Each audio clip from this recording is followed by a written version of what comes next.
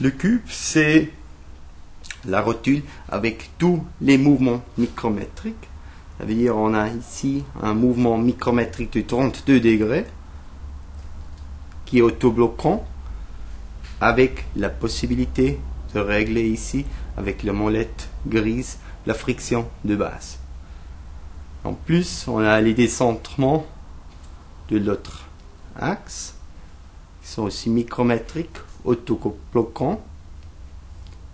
Et pour les décentrements de 90 degrés, la rotule, le Z1 possède une bascule manuelle de 60, plus de 60 degrés qui permet après de faire par exemple des reproductions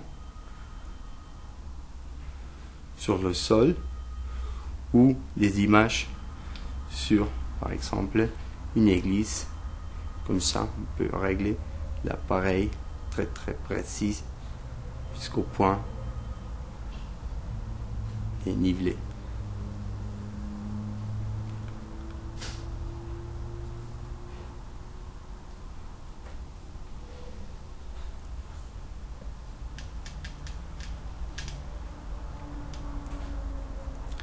Parce que le cube possède des segments. L'appareil tourne presque dans l'axe du basculement et ne change pas grand, ne change pas la distance entre l'objet et l'appareil. Ne change presque pas. Le cube possède de nouveau une base panoramique en bas pour faire. Par exemple comme j'ai montré avant des reproductions.